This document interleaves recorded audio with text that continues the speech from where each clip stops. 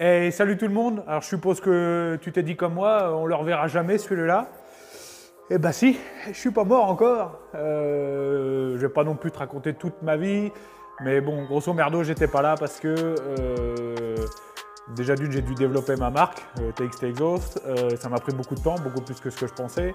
Euh, deuxièmement, euh, l'année, au tout début du Covid, je me suis fait un- une grosse grosse chute en moto. J'avais pas de protection dorsale, donc du coup je me suis fracturé le dos bien comme il faut. Bref, je vais pas te raconter plus que ça ma vie. Aujourd'hui, on se retrouve pourquoi Euh, Un haut moteur Bidalo euh, WR80, les nouveaux, les 2023. Euh, un client d'Écosse qui m'a demandé de lui faire ça. Donc on, au programme, on a remontage du moteur. Le moteur est déjà préparé, pas par moi, mais c'est bien fait, donc pas de problème. Prise de cote du cylindre, donc je vais prendre tout ça avec toi, diagramme, taux, et ensuite on met ça au banc et on voit ce que ça donne. Ça c'est moi Colis de chez Bidalo, le cylindre, je vais déjà te le déballer et te le montrer.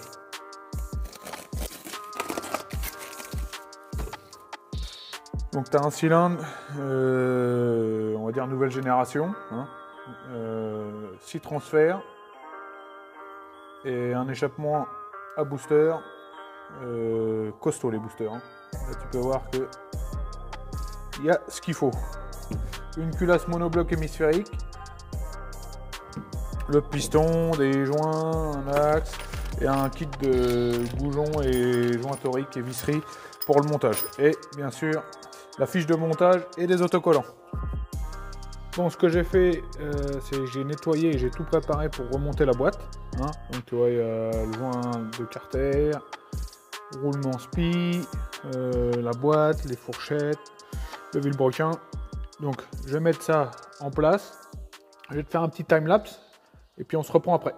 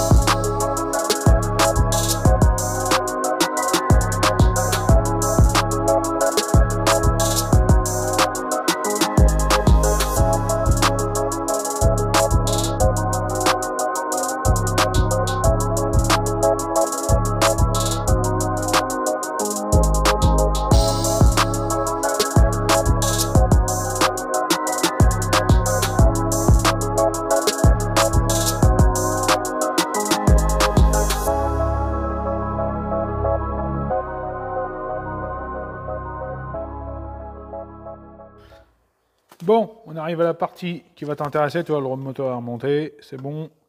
Donc je vais faire tout ce qui est les prises de mesure.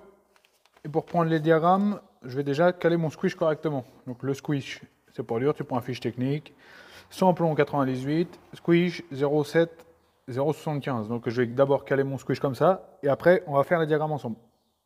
Alors, je me suis calé à 0,71 de squish exactement. Après, je te fais le calcul du volume, euh, enfin le calcul de rapport volumétrique avec le volume annoncé par Bidalo. Là, on va mesurer du coup les diagrammes pour voir ce que ça donne.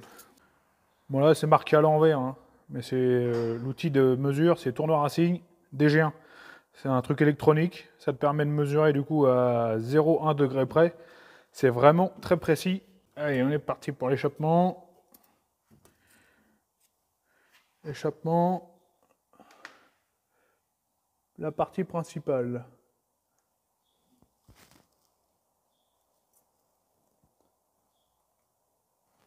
Zéro, on fait le tour. On remonte. Tac. 193,6. Alors, l'admission. Hop. Le transfert avant. «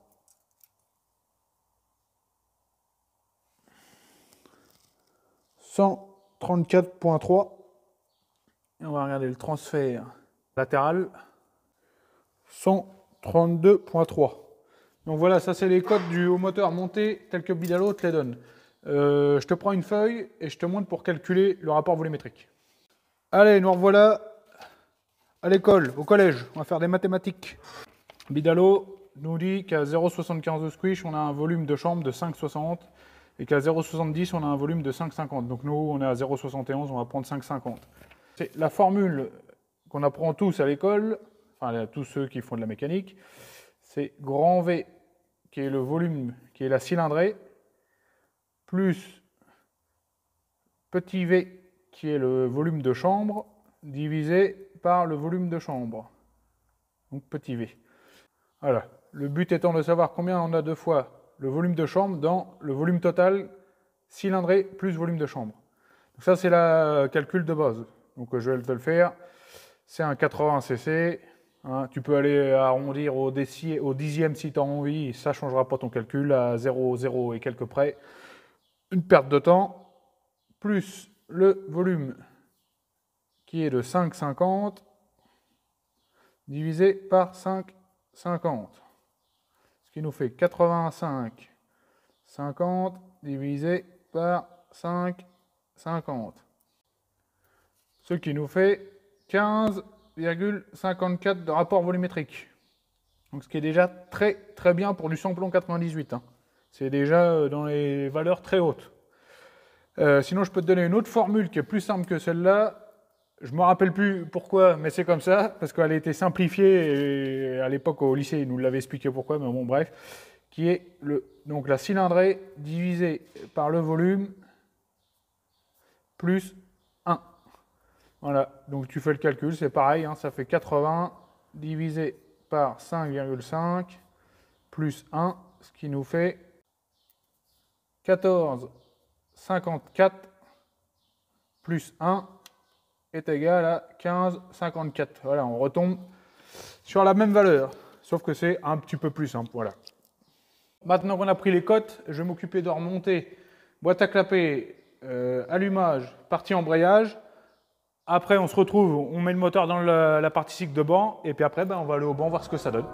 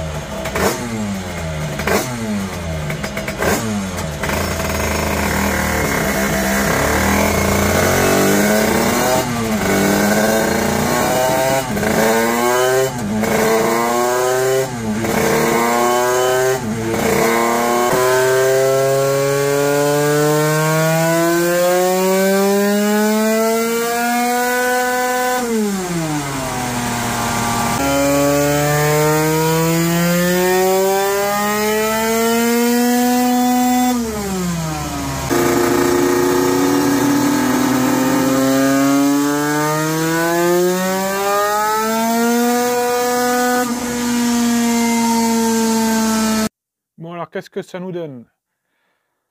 Commencé avec la courbe bleue qui nous donnait 27,8 chevaux. Euh, j'ai pas fait grand grand chose hein, sur ce moteur. Hein. J'ai fait de l'avance et de la carbe, hein, puisque le reste je connaissais. J'en ai déjà, j'en avais déjà monté. Et j'ai fini à 29,2. Donc la courbe finale, j'ai eu des courbes plus puissantes, à 29,5, 29,6. Mais sauf que sur la longe, ça plantait net et ça faisait gagner un tout petit peu d'axel. Et les moteurs de piste, on veut que ça allonge. On veut absolument pas que ça chute. D'ailleurs, même n'importe quel moteur, hein, un moteur qui prend pas de régime, euh, pour moi, c'est pas très bon. Euh, donc je finis. Donc c'est un carbut 30 qui a été monté. Euh, gicleur principal 150, gicleur de ralenti c'est un 45. et l'avance c'est 6-8. Voilà. Voilà, on a fini sur ce moteur. donc un 80 bidalo monté sorti de boîte. Tu vu, tu peux espérer 29-30 chevaux. Euh, évidemment, ça dépend des moteurs, ça dépend du réglage, ça dépend évidemment du banc, hein, parce que tous les bancs ne sortent pas la même puissance. Mais bon, euh, il y a déjà largement de quoi faire, je te garantis avec 30 chevaux sur un 80. Donc voilà, c'est fini pour nous pour aujourd'hui, pour cette vidéo. Euh, je vous souhaite un bon week-end ou une bonne semaine, je ne sais pas quand est-ce que ça sortira, et je vous dis à la prochaine. Tchuss